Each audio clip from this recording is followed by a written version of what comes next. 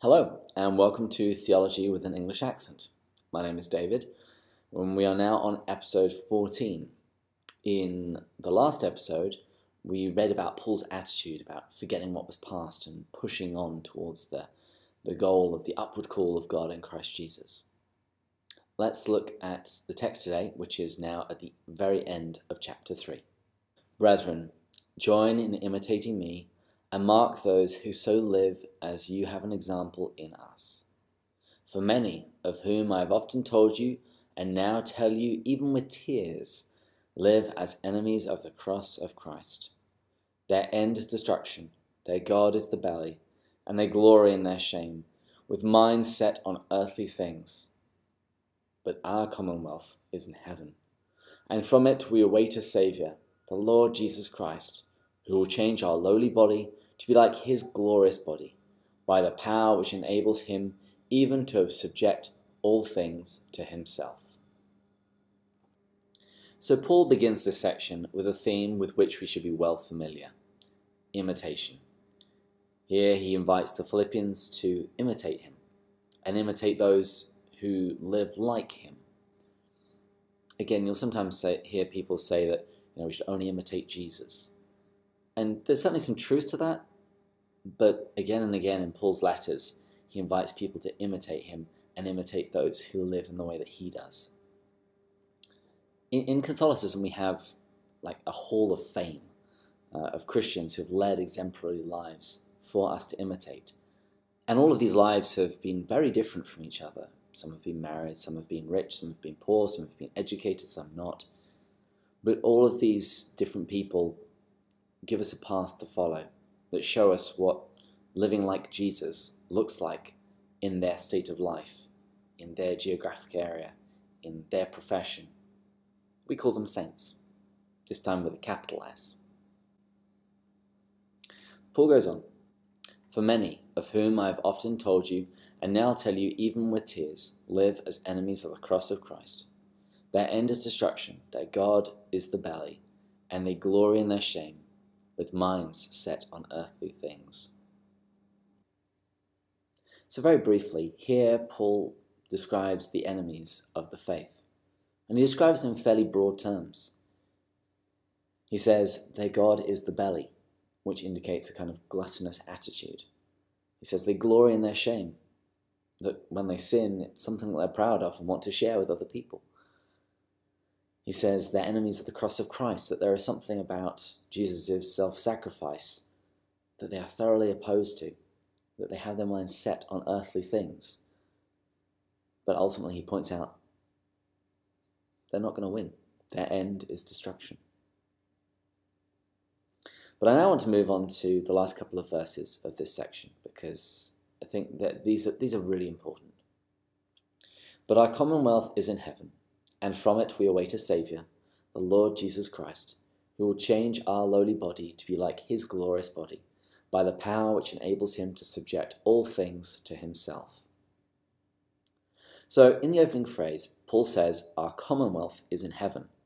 And the Greek word for that is politeuma, which could equally be rendered citizenship. So, Paul says, Our commonwealth, our citizenship is in heaven. Now, if you think back to the very beginning of this video series, I spent quite a bit of time talking about how Philippi was a Roman colony. It was full of people who were very proud of their Roman citizenship. We actually read about this in Acts of the Apostles. But Philippi was full of people who were Roman citizens and very proud of that fact. It influenced the way they spoke, the way they dressed, the way they deported themselves it had an impact on every area of their lives because they were tremendously proud of that citizenship and would defend it. But here, when Paul says our politeuma is in heaven, our commonwealth is in heaven, our citizenship is in heaven, he's pointing them to an even better citizenship, an even better commonwealth. Not the kingdom of Caesar, not the Roman Empire, but the kingdom of heaven. And just in the same way that if you were in a Roman colony, you you were not only proud of your Roman citizenship, you, it influenced your life greatly. Paul would expect the fact that since our citizenship is in heaven, We should be tremendously proud of that, and that should influence the way we live, the way we carry ourselves. If you read the writings of the early church fathers, so the Christian leaders following the apostles, you find this, uh, this idea appearing again and again. And I think the best example of this is the Epistle to Diognetus. Here's my favourite section. Christians are not distinguished from the rest of mankind by either country, speech, or customs. The fact is, they nowhere settle in cities of their own. They reside in their respective countries, but only as aliens. They take part in everything as citizens and put up with everything as foreigners. Every foreign land is their home, and every home a foreign land. They spend their days on earth, but hold a citizenship in heaven. Isn't that beautiful? Anyway, let's return to Philippians. Paul refers to the Lord Jesus Christ. Now, if you're a Christian, you hear this all the time. And we sometimes grow a little dull to it.